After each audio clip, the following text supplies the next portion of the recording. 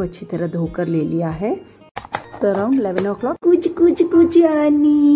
Veranda वरंडा वरंडा वरिंडा। मेरी मम्मी मुझे सांबार पाउडर बनाकर देती है। बिल्कुल फ्रेश है। हाय गाइस हेलो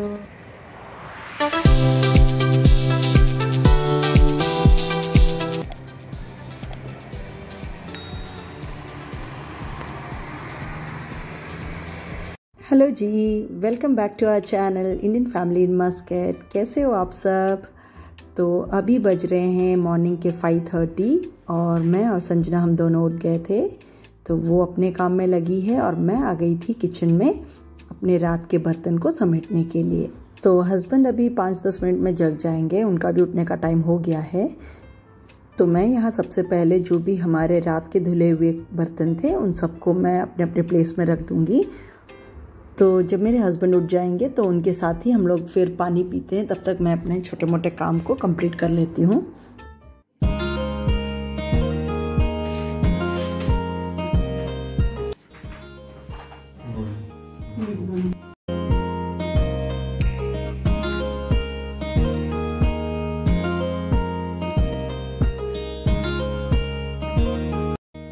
उसके बाद हम तीनों अपने अपने काम में लग जाते हैं।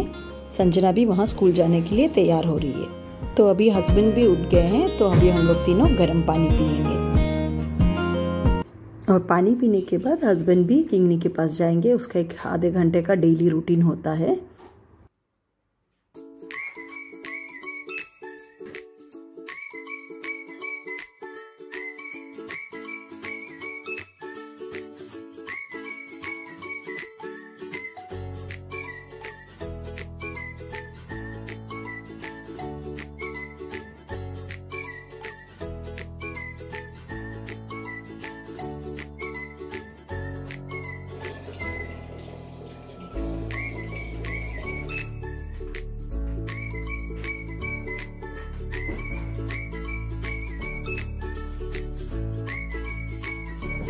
तो डिश वॉशर से एक्चुअली काफ़ी हेल्प मिलता है। सारे बर्तन अच्छी तरह धुल जाते हैं। मैं रात को ही इसे लोड कर लेती हूँ।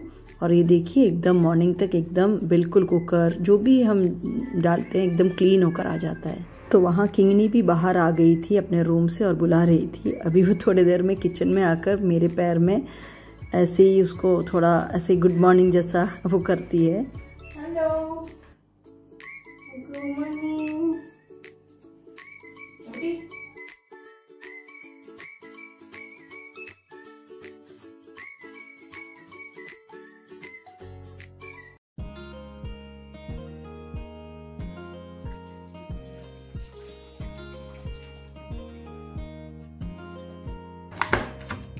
स्ट्रॉबेरीज मैंने स्टोर किया था, बिल्कुल फ्रेश है अभी भी।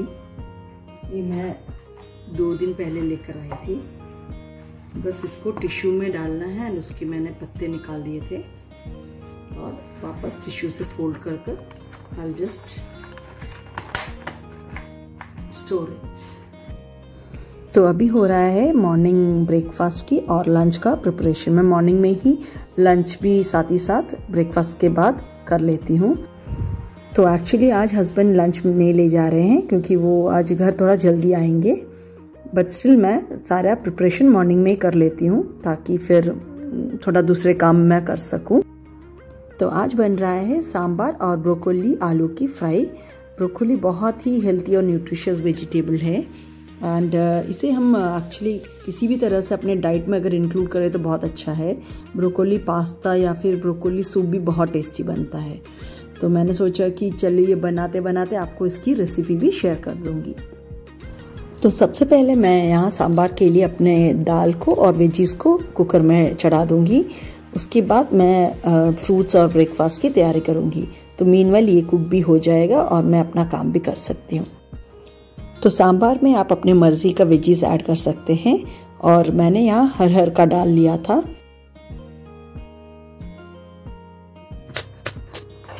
तो यहाँ वेजिस को हमें ज़्यादा छोटा नहीं काटना है, थोड़ा मीडियम साइज़ में ही रखना है। मैंने यहाँ जस्ट हाफ़ पोटैटो लिया था। बाकी मैंने आलू ब्रोकोली के लिए रखा है। वो बड़ा प्याज भी ब्रोकोली के लिए है।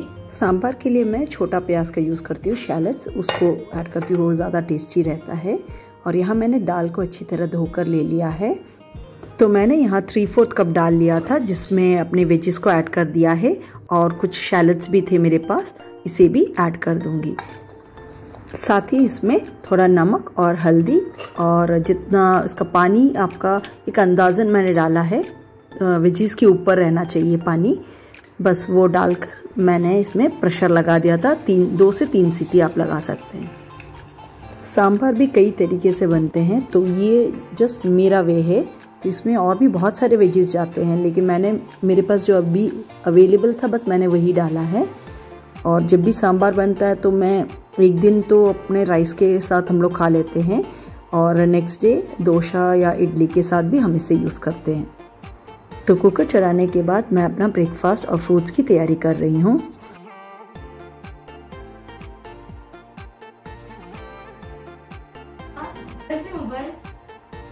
तो आज फ्रूट में जा रहा है थोड़ा स्ट्रॉबेरी ग्रेप्स ऑरेंज और डेट्स तो पहले मैं दोनों का ऐसे ही टिफ़िन बॉक्स तैयार करती थी फिर लास्ट टू ईयर्स से फिर आ, मैंने अपना भी एक छोटा सा फ्रूट बॉक्स तैयार करना शुरू किया वरना मेरा फ्रूट्स तो खाना होता नहीं। है अगर ऐसा है तो फिर मैं भी खा लेती हूँ।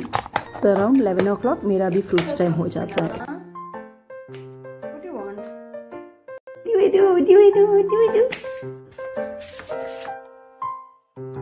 ഇവിടെ കാണാം അമ്മയുടെ അടുത്ത് വരുന്നത്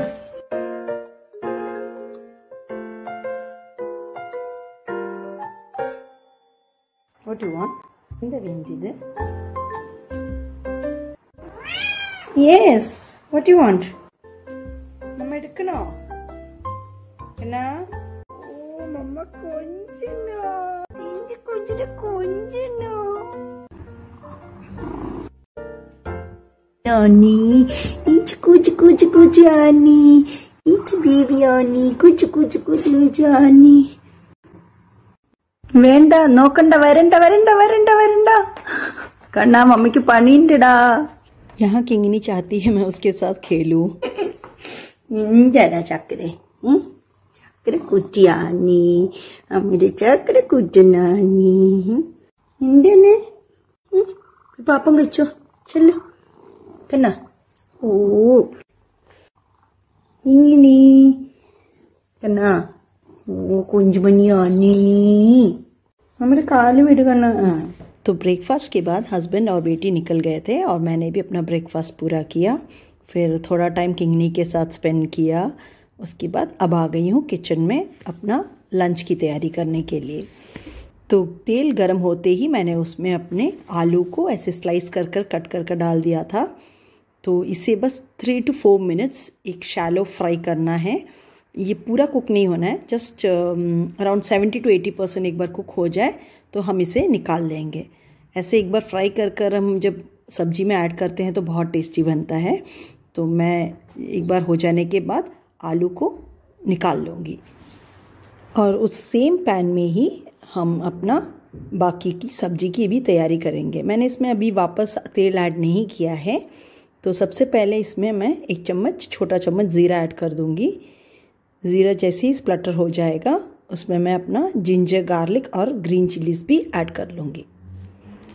इसे हमें अराउंड थर्टी सेकेंड तक एक बार अच्छी तरह चला लेना है। तो ये जो गार्लिक जिंजर और ग्रीन चिली से एक अच्छी सी खुशबू आएगी, उसके बाद हम इसमें स्लाइस किया हुआ प्याज को भी ऐड कर लेंगे। एक मीडियम साइज़ प्याज मैंने यहाँ लिया था। तो इसे भी अच्छा तरह एक ज़्यादा ब्राउन नहीं करना है, थोड़ा गुलाबी ट्रांसलूसेंट हो जाएगा, तब तक उसे थोड़ा फ्राई कर लेंगे। तो तेल में सबसे पहले हींग जाना चाहिए था, मैं वो डालना भूल गई थी तो मैंने उसे अभी ऐड कर लिया है। तो जीरा और हींग एक साथ जाएगा। तो यहाँ जैसे ही मेरा प्याज बुन गया था, मैंने उसमें एक टमाटर ऐसे चॉप कर कर डाल दिए थे। और टमाटर डालते ही मैं उसमें नमक थोड़ा डाल देती हूँ जल्दी कुक हो जाने के लिए। और एक मिनट के लिए जस्ट ढक कर कुक कर लिया था। और टमाटर जैसे ही सॉफ्ट हो गए, मैंने उसमें अपना ब्रोकोली भी ऐड कर लिया यहाँ ब्रोकोली को मैंने थोड़ी देर ढककर कुक होने के लिए छोड़ दिया था। मीन सांबार की भी तैयारी हो रही है। तो मैंने थोड़ा टैमरिड वाटर यानी इमली का पानी, उसको छान कर डाल दिया है और एक टमाटर भी ऐड कर कर बॉयल होने के लिए छोड़ दिया है। मीनवाइल हम यहाँ अभी ब्रोकोली की सब्ज़ी में अपने मसाले को ऐड करेंगे। तो मैंने यहाँ अपने रेगुलर के मसाले हल्दी, धनिया और मिर्ची का पाउडर ऐड कर दिया था और थोड़ा गरम मसाला भी इसके ऊपर से ऐड कर लिया है। इसे अब अच्छा सा एक मिक्स देने के बाद हम इसे ढककर कुक होने देंगे। मीनवाइल सांबार के मसाले की तैयारी करते हैं। सांबार दो तरह से बनता है।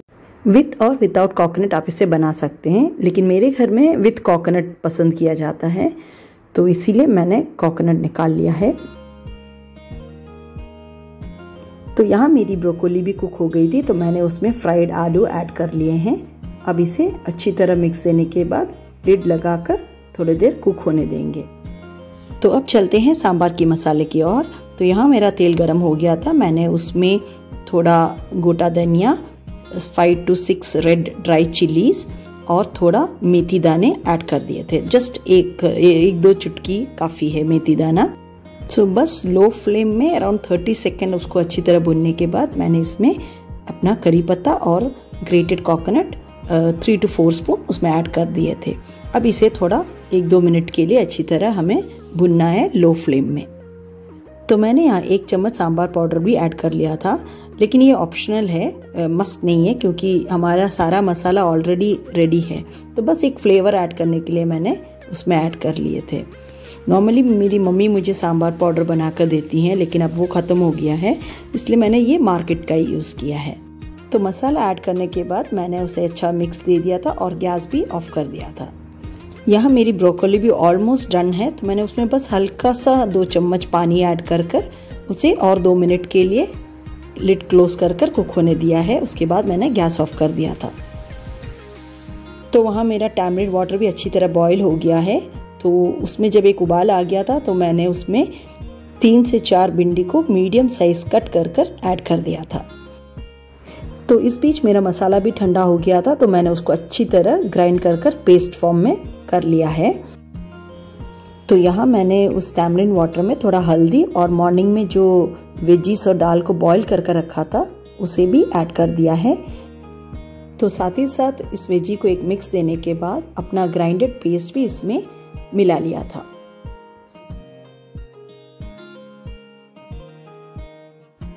तो यहाँ मैंने मिक्सी में थोड़ा पानी ऐड कर कर अपना वाटर का लिक्विड का कंसिस्टेंसी एडजस्ट कर लिया था, क्योंकि सांबार हमें राइस के साथ खाना था तो वो थोड़ा लिक्विड फॉर्म में ही तो वैसे बनता है। नमक एडजस्ट करने के बाद एक बॉयल आने के लिए छोड़ दिया है। तो ये देखिए, मेरा धनिया जो हमने उस दिन सॉट किया था तीन दिन पहले, अभी भी बिल्कुल फ्रेश है।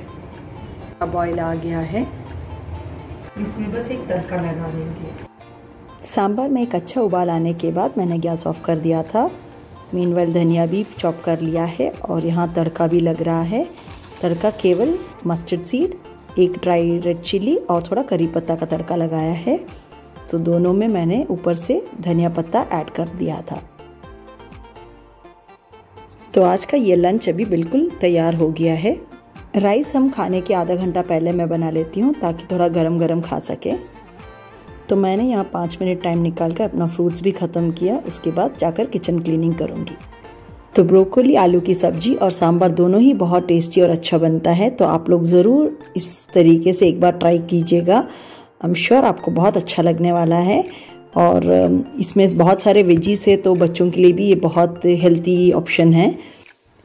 तो यह मैंने साथ ही साथ अपना थोड़ा काउंटर टॉप और गैस क्लीन कर लिया था ताकि खाने के बाद मुझे थोड़ा काम कम करना पड़े और अगर हम साथ ही साथ क्लीन कर लेंगे तो उतनी मेहनत भी नहीं लगती है तुरंत वो क्लीन भी हो जाता है।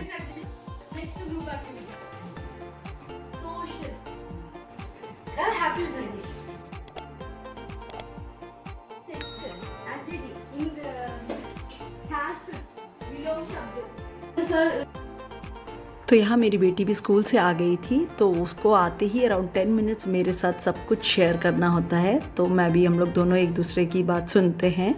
उसके बाद वो भी चले गई थी फ्रेश होने के लिए। तो मैं भी घर की क्लीनिंग के बाद शार लेने चले गई थी। फिर उसने अभी खाने से मना कर दिया था so she wanted to wait for her father तो पापा आने के बाद एक साथ खाने का प्लान हमने बनाया। तो ये मेरे हस्बैंड को बहुत पसंद है। इसको इंग्लिश में तो हॉर्स ग्राम कहते हैं। हम लोग मलयालम में इसको मुदिरा कहते हैं। तो फिर बस मैंने ये भी बना दिया है।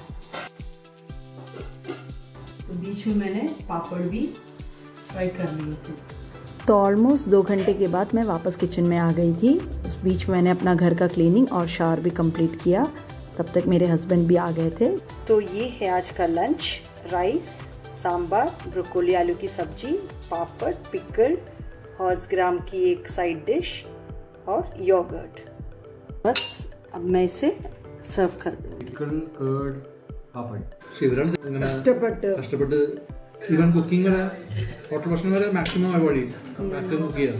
फ्रेंड्स हाँ। अभी मेरा खाना हो गया है तो बस अभी मुझे ये सारे जो बचे हुए सब्ज़ी है जो भी है उसे समेटना है।